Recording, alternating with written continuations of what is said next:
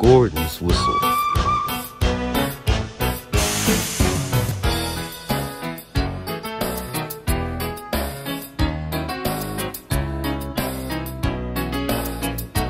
Gordon's cross.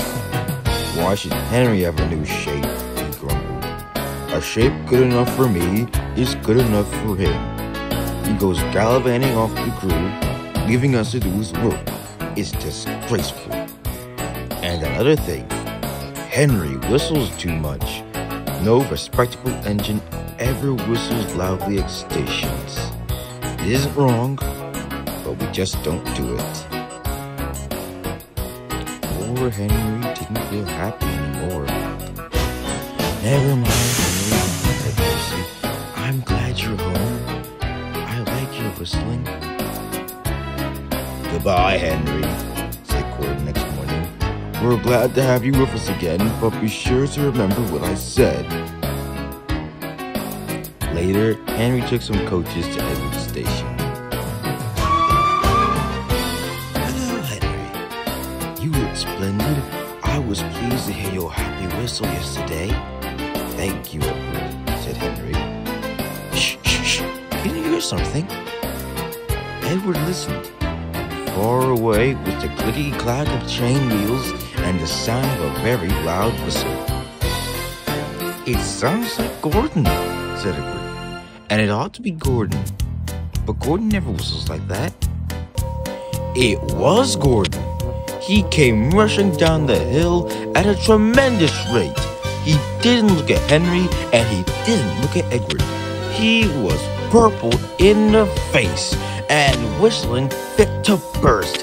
He screeched through the station and disappeared. Well, said Edward, what it isn't wrong, but we just don't do it. And Henry told Edward what Gordon had said. Meanwhile, Gordon screeched along the line. People came out of their houses. Air raid signs sounded. The fire brigade came out of the station house, and old ladies dropped their parcels. At the big station, the noise was awful. The fat controller gave a lot of orders. No one could hear them, and Gordon went on whistling. The fat controller clambered into Gordon's cab and said, Take him away and stop the noise. He was still whistling when he.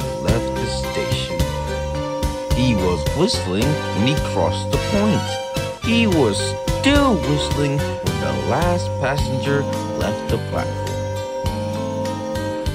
Then two fitters climbed on top of Gordon and knocked his whistle valve back into place. And there was silence. Gordon slunk into the shed. He was glad it was empty. The other engines arrived home late. It isn't wrong, Particular. But we just don't do it.